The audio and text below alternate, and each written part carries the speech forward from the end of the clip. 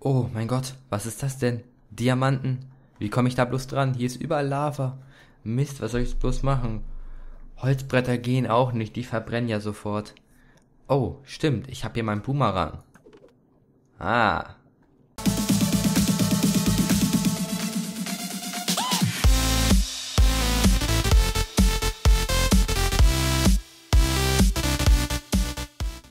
Hey Leute und herzlich willkommen zu einer neuen Minecraft-Modifikation. Heute zeige ich euch die World Explorer-Modifikation für die 1.7.10. Und was diese kann, das äh, habt ihr gerade schon gesehen. Einmal ein Boomerang, diese neue, ja, Crafting-Chest, wie man sie auch nennen will, und neue Items, neue Tools. Und ja, ich würde mich freuen, wenn dieses Video über 100 Likes bekommen würde. Ein Kommentar wäre cool, ähm, zum Beispiel ein Modvorschlag oder wie ihr dieses Video fandet oder auch die Modifikation. Und ja, ich würde sagen, fangen wir auch gleich mal an. Wir haben erstmal hier dieses coole äh, ja, Crafting Table Buch mit Chest drin. Also das ist ziemlich, ziemlich cool. Ähm, damit können wir verschiedene Sachen machen. Und wenn wir das öffnen, haben wir hier einmal einmal unsere Study, also das nennt sich Study Desk, das Ganze. Und ähm, ja, da haben wir einmal hier eine Chest drin, wie man sieht, also können wir Sachen rein äh, verstauen. Hier haben wir einen Crafting Table und dann haben wir noch mehrere Sachen, damit man mehrere Sachen craften kann. Und ja, wenn wir in eine Welt spawnen, kriegen wir als erstes so ein Buch. Ähm, ja, da steht einfach nur drin, dass wir Materialien auf eine andere Art ähm, zu äh, nutzen will, ähm, wissen, ja, und mehr steht eigentlich nicht drin, das funktioniert noch nicht ganz. Können wir auf Items klicken und ja, können wir gucken, wie das hier gecraftet wird oder dieses Buch, falls wir es mal ver verlieren. Aber wenn wir es verlieren, können wir es natürlich nicht nachgucken. Von daher entweder ihr merkt euch das oder ihr holt euch Not Enough Items und könnt dann auf R drücken und dann seht ihr das. Wie, äh, wie ihr Not Enough Items installiert, einfach bei uns auf dem Kanal Not Enough Items eingeben und dann wird schon ein Video dazu kommen. Ja, ich würde mal sagen, fangen wir mal an, was wir jetzt erstmal machen können. Zum Beispiel äh, wir wollen uns jetzt irgendwas craften. Nehmen wir jetzt einfach mal ein bisschen Holz. So. Und dann können, können wir euch zeigen, ich, wir können hier eine Chest machen. Aber sagen wir mal, wir gehen hier raus und haben was vergessen, bla bla bla. Gehen wir dran, bleibt das hier drin gespeichert. Das ist ziemlich, ziemlich cool. Das gibt es natürlich auch in anderen Modifikationen, aber ich finde die Modif äh, find das trotzdem ein ganz cooles Feature. Ja, ähm, dann würde ich sagen, fangen wir mit dem Items an. Und zwar, wir haben einen, äh, also einen Longbow, den craften wir so mit einem Longbow Body und einem Longbow äh, String. Den Longbow Body craften wir so. Und ähm, ja, den String craften wir so. Ähm, wir müssen normale Pfeile nutzen und ähm, das ist aber nicht schlimm, weil das ist ja eigentlich besser. Nicht, dass die so teuer sind. So, dann kann ich euch zeigen. Komplett durchziehen. Der hat schon eine ganz schön gute Reichweite. So sieht man, wenn wir jetzt einen normalen Bogen nehmen. Hm, so. Ja, jetzt muss ich wieder auf gleiche Höhe. So. Einmal so. Und so. Also das ist schon ziemlich krass. Jetzt könnten wir auf der Höhe gucken. Das hier war mein, äh, das war der lange Bogen und das hier irgendwo da unten, oder der hier sogar, war der normale Bogen. Also ist ein ziemlich krasser Unterschied auch. Also auf Entfernung ist das ein großer Unterschied. Dann haben wir hier eine Steinschleuder. Und zwar craften wir ganz einfach so. Das ist ziemlich günstig. Äh, dann brauchen wir halt noch diese Kugeln dafür. Einfach mit Cobblestone. Und wir bekommen vier Stück. Machen wir mal dunkel. So. Zombie ist gespawnt. Können wir halten. Die hat keine große Reichweite. Ups, so. Also die ist auch nicht so stark. Und ja, ähm, können wir nochmal einen Spawn nehmen? So. Also man braucht schon sehr, sehr viele ähm, Hits, aber ich meine, so teuer ist die ja nicht, von daher kann man die ruhig craften. Ähm, ja, dann machen wir weiter mit dem Blasrohr. Das craften wir so. Mit, äh, mit einem angespitzten Stick. Den angespitzten Stick machen wir mit zwei Sticks oder zwei Stöckern. Und ja, dann noch den Dart, den machen wir so, mit einem, auch mit einem angespitzten Stick und einer Nadel. Die craften wir einfach mit Kaktus rein, kriegen wir sechs Stück, ups. So, dann halten wir. Hört man schon so, hört man das schon so cool und dann richtig coole Animation ist das. So, und dann loslassen. Hat nicht so eine große Reichweite. Ups. So, gucken wir mal.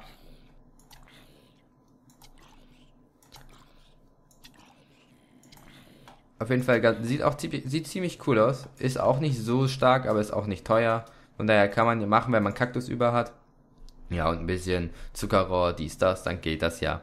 Dann eine, ähm, ja, eine Schlinge, die weiß ich nicht, ähm, wie man die, äh, also die kann man noch nicht nutzen, genau wie den Hookshot. Die Peitsche, die kann man schon benutzen. Also es ist noch in der Beta, von daher wird da noch viel programmiert. Oder ja, genau, geschrieben.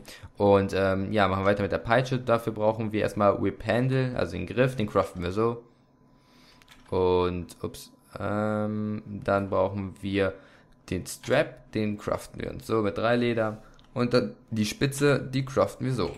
Ja, dann können wir hier Rechtsklick schlagen. Hört ihr wahrscheinlich nicht so laut. So, jetzt hört man das.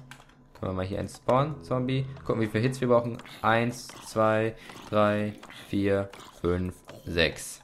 Ist stärker als die anderen, weil besonders man kann sehr, sehr schnell angreifen. Kann ich mal zeigen. Ja, bloß Minecraft registriert das nicht so schnell mit den Angriffen.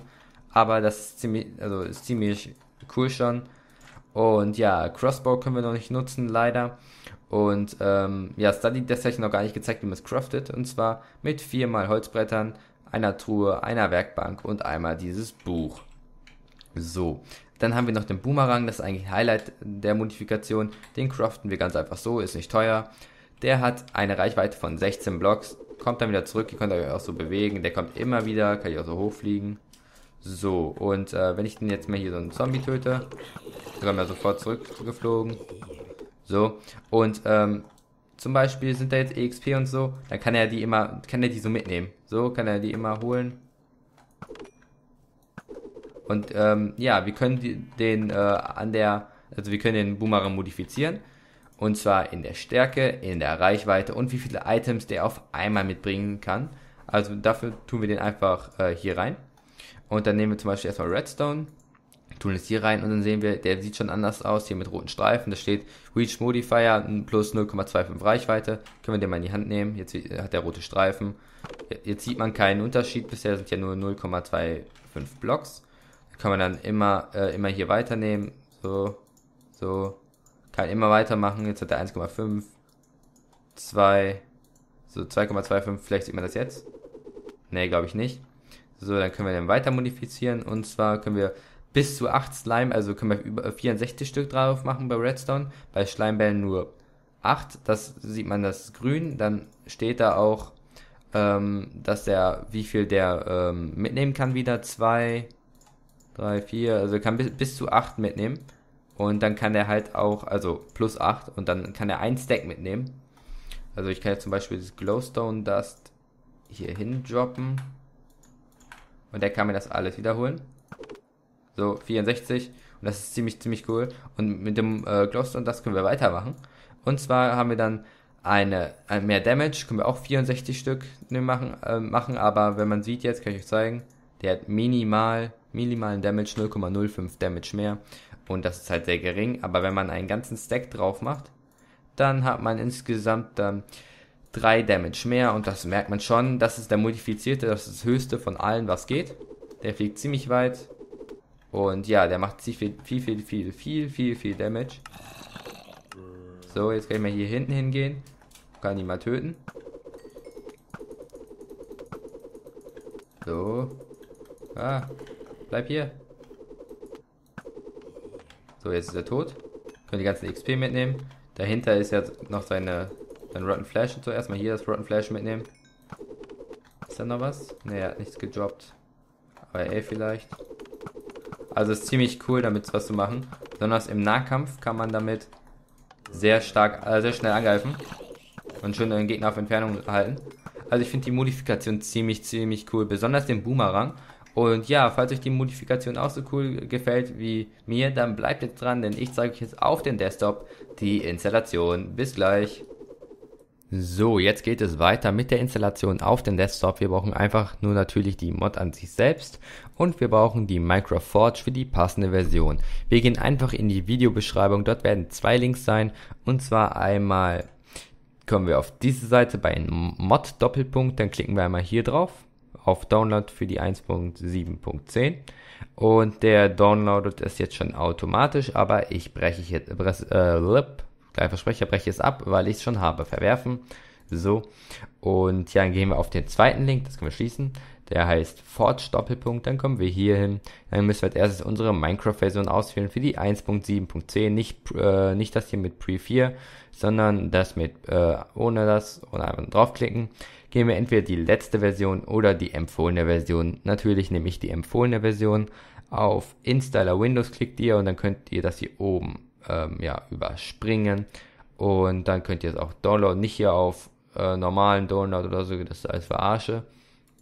So, dann ähm, drückt ihr die Windows, ah ne, erstmal, erstmal installieren wir Forge, so, einfach Doppelklick auf die Forge-Version, so, wenn die sich öffnet, dann, ja, ich habe Windows 10, von daher muss ich das jetzt hiermit öffnen, also immer mit Java-Version, so, achten darauf, dass wir das hier oben ausgewählt haben, den Clean und einmal euren Pfad euren Minecraft-Ordner stimmt, dann drückt ihr auf OK Wartet, bis es runtergeladen ist, wie bei mir, ist erfolgreich äh, installiert und heruntergeladen. Könnt ihr auf OK drücken. Haltet die Windows-Taste und R gleichzeitig gedrückt und ähm, dann öffnet sich das Fenster Ausführung und wir geben dort ein Prozent App Data Prozent. Drücken auf OK, suchen unseren Punkt Minecraft Ordner, gehen da rein, suchen den Mods-Ordner MODS, wenn ihr den noch nicht habt, erstellt diesen, alles klein geschrieben, geht da rein, dort sollten noch keine Mods drin sein, aber dieser 1.7.10 Ordner kann ruhig drin sein, er können auch andere Ordner drin sein, aber keine Java, äh, Java-Version, ähm, ja, Java-Version von Programm oder WinRAR-Dateien, irgendwie sowas.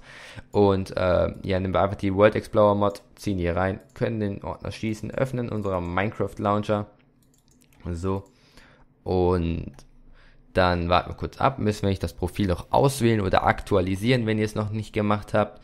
Ich gehe zum Beispiel auf das Profil editieren, könnt ihr es nennen, wie ihr wollt. Bei mir ist es jetzt Test unterstrich, welche Version wir nutzen möchte. Ich habe die hier runtergeladen, drück auf OK und äh, also schon auswählen, dann auf Save Profil, die auswählen, wenn ihr die nicht ausgewählt habt und auf Play drücken. So, jetzt warten wir noch ab, bis es gestartet ist. Dann kann ich euch zeigen, dass es geklappt hat. Ja, ähm, wenn ihr neu auf dem Kanal seid, könnt ihr selbstverständlich abonnieren und ähm, ja, äh, wir haben immer Minecraft Mod Reviews und ja, wenn euch das gefallen hat, wie, äh, wie, gesagt, könnt ihr es mit einem Like bewerten oder auch einen Kommentar in die Kommentare schreiben. Und jetzt warten wir noch ab, bis es installiert ist.